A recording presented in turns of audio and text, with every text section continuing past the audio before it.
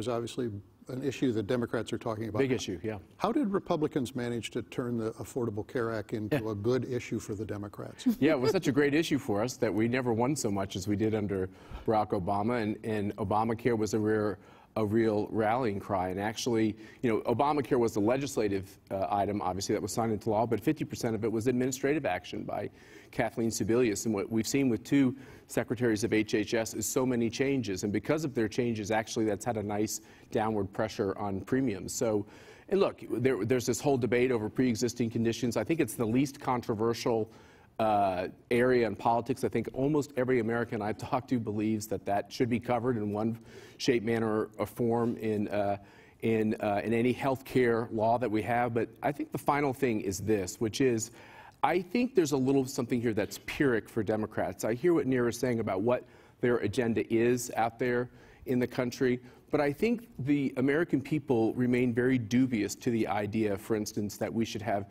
Medicare for all. I think they think that's a very dubious proposal. Most of the Democrats who are considering running for president have already signed on to this concept, the idea that you would have, you know, the federal government, you know, more and more involved in our health care decisions. So over the long run, I think it continues to be a really an important debate that we're having as a country, and I think most Americans are troubled with the idea of everything with healthcare being centralized.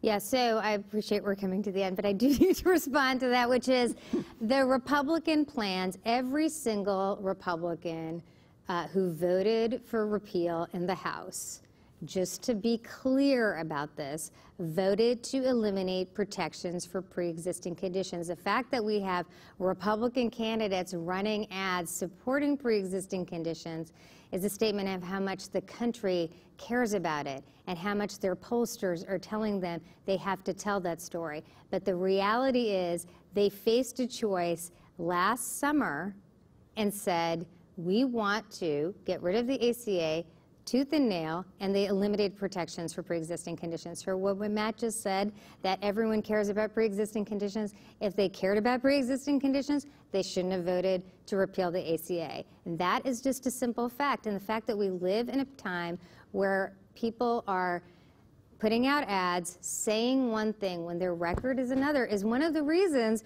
why people are getting so motivated to vote because they want to put an end to this level of dishonesty in politics.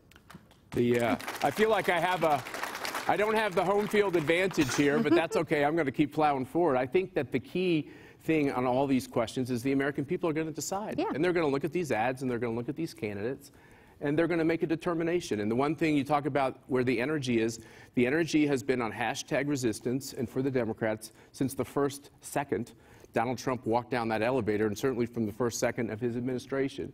And what we've actually seen over the course of the last 60 days is that battle has been joined by Republicans and by conservatives and by the coalition I'm a part of. They're awfully motivated as well, which is why most of these polls are collapsing to the benefit of our Senate candidates and to our House candidates, and why I would say, even on election night, I agree. I know you don't agree with me, but I agree with what Amy Walter was saying. As a matter of fact, I take it a step further. I think election night, we probably are not going to know who has the majority in the House, and I think on the Senate side, I think we're going to do awfully well. I think, I think we're going to know night. by I, 9 o'clock. I hate